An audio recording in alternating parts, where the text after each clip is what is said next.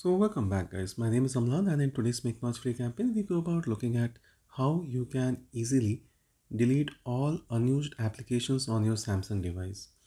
Now it's quite possible that your device is running slow and you know it's almost full. So in such situations you would be wanting to do this. Let's look at how this can be done easily. A quick method is by heading towards your settings.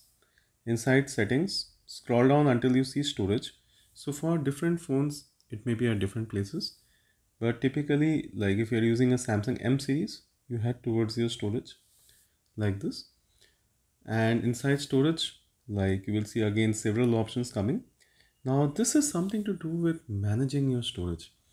I mean you tap on storage and here you will see like what different applications are consuming in terms of space so images here consume 1.36 gigabytes videos this that 100 things.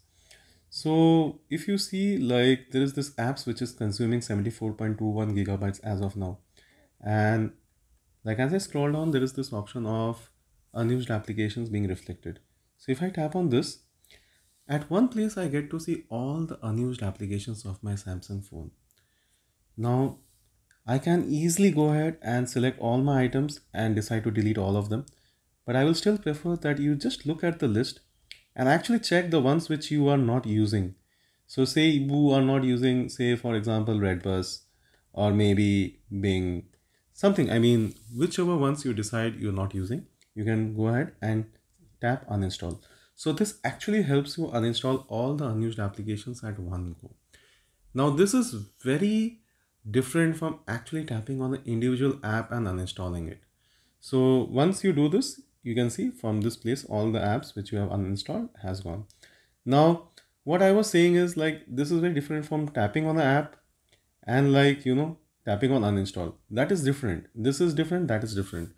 So guys, I really think that this is an important thing. I will quickly show it to you again what I did. I went to settings. Inside settings, I went to storage. Inside storage, I tapped on storage and then I went here. I tapped on unused applications and here using the selection box I mean this radio button I could select any of the apps that I wanted to delete and tapped on uninstall. So this is how you would be uninstalling all unused applications on your Samsung device. So if you find today's tutorial helpful please consider sharing this with your friends and family. Also please do subscribe to our channel so that you can have access to similar content until next time, it's me Amlan signing off.